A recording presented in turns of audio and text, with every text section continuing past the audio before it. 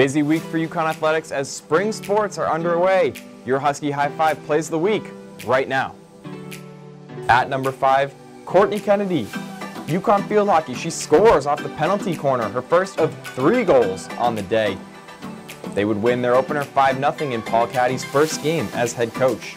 At number four, we move to the ice. It's right off the faceoff, and it's Danika Pasqua. She snipes one home, top corner.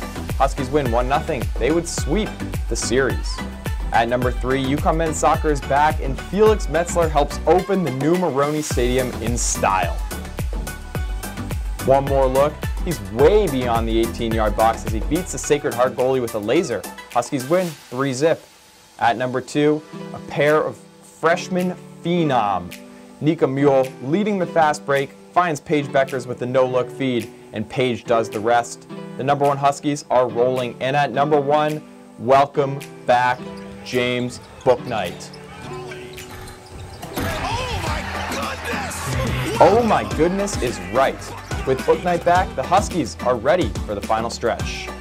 That's all for this week. I'm Noam Watt. We'll see you next week for another edition of the Husky High Five.